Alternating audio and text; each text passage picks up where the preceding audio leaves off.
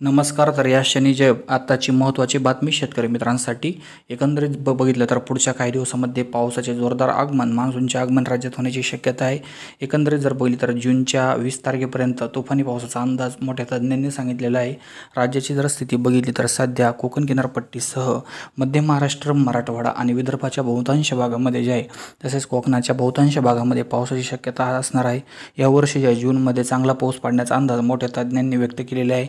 एकंदरीत जर बघितलं तर कोकण किनारपट्टीमध्ये रत्नागिरी सिंधुदुर्ग ठाणे पालघर रायगड रत् त्याचप्रमाणे मुंबईच्या विविध भागामध्ये जे आहे चांगला पाऊस यावर्षी पडणार आहे. यानंतर जर बघितलं तर मध्य महाराष्ट्र मराठवाड्यामध्ये जे आहे या ठिकाणी चांगलाच पाऊस पडण्याचा अंदाज पाहायला मिळणार आहे. राज्याची जर स्थिती बघितली तर छत्रपती संभाजीनगर अहमदनगर लातूर सोलापूर हिंगोली परभणी जालना नांदेड धुळे औरंगाबादसह विविध भागामध्ये जे आहे चांगला पाऊस पडणार आहे. नागपूर भंडारा गोंदिया चंद्रपूर गडचिरोली अकोला वाशिम यवतमाळमध्ये सुद्धा पावसाची